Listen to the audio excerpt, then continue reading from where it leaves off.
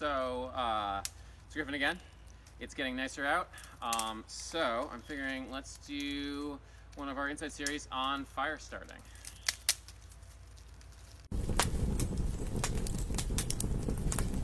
Fire burns, lots of things. Sometimes things you don't want to burn.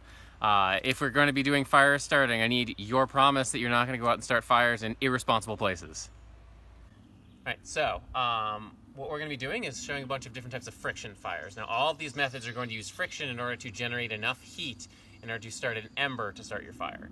The first one is using your hands. So what I have here is actually a drill. The tip of it has a stone on here, but a drill and your uh, spindle for uh, your hand drill here is going to be the same thing. It's going to work the same way. So if I was doing this on stone, what you do is put this on a piece of stone. Let me grab this.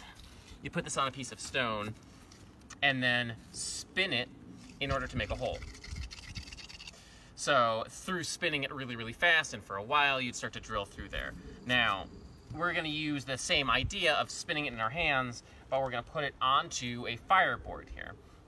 Now, the board itself has a little notch in it, uh, and it has an area where we've kind of uh, drilled in before in order to kind of set a, a spot there for it to sit. When I'm spinning it like this, what is actually happening is I'm generating heat, and it's generating kind of dust and powder from the wood that's touching it. So what we're trying to do is build up enough dust right along on the notch there uh, that the heat from spinning this will actually ignite that and make uh, what we're going to use for the base for our fire. Now, this can take a long time. Uh, if your arms aren't built up, your muscles aren't built up to be able to handle it, it can hurt a lot and you might not even be able to generate the power because you need not only the spinning power, but you need the pressure down as you're doing it uh, in order to build up the heat and build those little uh, bits of wood dust down there as well. So there's other methods we can use to actually speed that up too. All right, so a method that we're going to use in order to speed it up is called a bow drill. Now, bow drill just takes, uh, it looks kind of like a bow, it doesn't look like something you'd be actually be able to fire because it's very loose. But what we want to do is use the bow uh, in here and kind of spin it around our spindle. Now, instead of using our hands to do the spinning. We're going to use the bow drill itself to do the spinning. And we'll just kind of twist it around like that, and we'll put it in the same in the same place as we would there. But we're also going to use a cap in order to keep it in place. Now, this one, it helps if you use your body to kind of stabilize it. And as you press down and spin,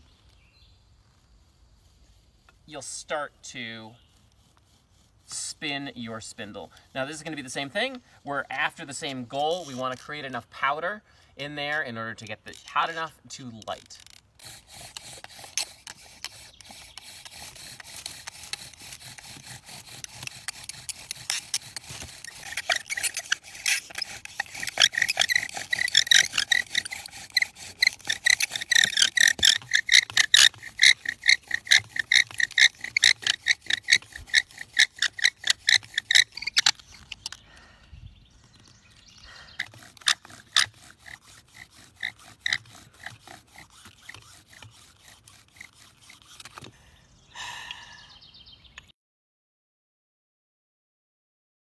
Once the dust and not the stick start smoking, uh, you'll know that you have an ember. When you look at it, there'll kind of be a little bit of like a white, uh, ashy spot on top, and there'll be smoke coming off of the powder itself. There's a lot of different types of material too that you can transfer this little ember that you've made into. What I used was white birch, but you can use a lot of different things. The thing that I tend to like to use more often than that is cedar bark. And you can kind of take it and crush it up in your hands and roll it together because you want to kind of have a lot of fibers, a lot of surface area for it to catch onto. With all those fibers, what you're going to do is make a little bird's nest for you to transfer your ember into. Once you transfer your ember into it, you're going to kind of close it up around it to, once again, keep that heat in, and then blow on it gently until it catches flame.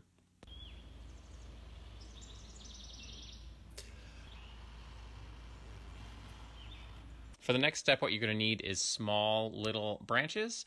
Um, you want to make sure they're dry. I like to use hemlock. It's got a lot of resin in it, so it burns really well. If you want to take those small branches and put them on top of, kind of wrap around that burning bark nest that you have ignited.